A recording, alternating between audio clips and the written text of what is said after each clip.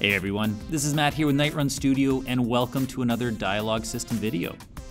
Adding colored and different sized text to your dialogue is a time honored tradition in video games, and something that you're definitely going to want for your dialogue system. In this video, then, we'll look at how to add these rich text tags to your dialogue. Before we get started, though, a quick note on my indebtedness to Trever Mock, whose video on this was incredibly helpful for figuring out some of the coding challenges. Be sure to check his site out if you get a chance.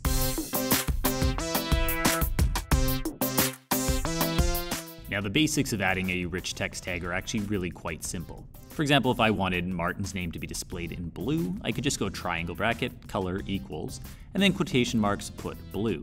Don't forget to close your quotation marks like I did here. Then, after the word, you could go color equals, and then set it back to the original color, in my case, black. You can also stack up your tags, so for example, I could do bracket B for bold, and then after Martin, I do another bracket B for bold, but this time just add a slash in front to show that I'm ending the bolded section.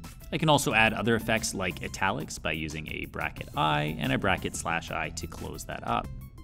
Now, just to be sure that this is all working, you should be able to look in your game view and see that the color is changing as well as the italics and that sort of thing.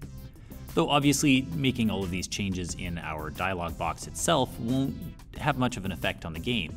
We need to go into our dialog folder, pick an actual scriptable object conversation, and make the changes there. So I've just copy pasted my other text in here, but let's also set perplex to uh, purple and maybe do a little bit of a size change as well.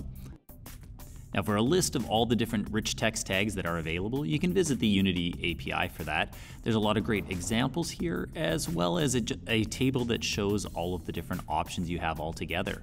One of the most useful will be the color codes down at the bottom, and these are great, especially if the blue that Unity picks as your blue is not the one you want. You can choose from a whole bunch here. All right, so when we run our game, you'll notice that things are kind of a mess. The end result is exactly what we've coded in, but getting there is not working so great. What's happening is that we are actually showing the rich text tags as text, and that's not what we want. So let's pop into our code, and to do that we're going to head to the Advanced Dialog Manager script. So the problems we're encountering at this point are a result of our typewriter effect, which causes Unity to only process one character at a time when going through text so it doesn't realize it's met a rich text tag until the end of that tag. So what we need to do is suspend our typewriter effect when we encounter one of these tags. To do that, we'll head down into our typewriter effect coroutine. And if you look here in this for each loop, this is where we go through each individual letter. And at the moment for each letter, we print the letter and then wait whatever our typing speed is. We are going to suspend that. And to do that, we're just going to make a check here that is going to check to see if we're working with a rich text tag. Now we're going to need a Boolean value here that will allow us to actually check that, and we'll call this adding rich text tag. We'll initialize it at false, and don't forget to actually tell it that it's a bool. Now it's not going to like that for the moment, but that's okay, we'll fix it in a second. We can now head down here to the note we made about our rich text tag, and we're going to perform our check. And what we want to do is see if the letter we're currently looking at is equal to an open triangle bracket. If it is, that means we've just entered a rich text tag, or if it's true that we're already in a rich text tag. Now, if that is true, we can suspend our wait typing speed part of the method and just go straight to displaying the next letter. So we can copy that from down below and paste it in here just without the wait. We also want to make sure that if we have encountered an open bracket that our method knows that we're now inside a rich text tag. That way when it moves to the next part of the tag, which is not an open bracket, it will continue to act as though it's in a tag because this value is true. Now we want to do one more check, and that's just each time we look at a letter now, we want to check to see if we've reached the end of our tag, symbolized by the closed triangle bracket. And if we have, then we'll make our adding rich text tag equal to false.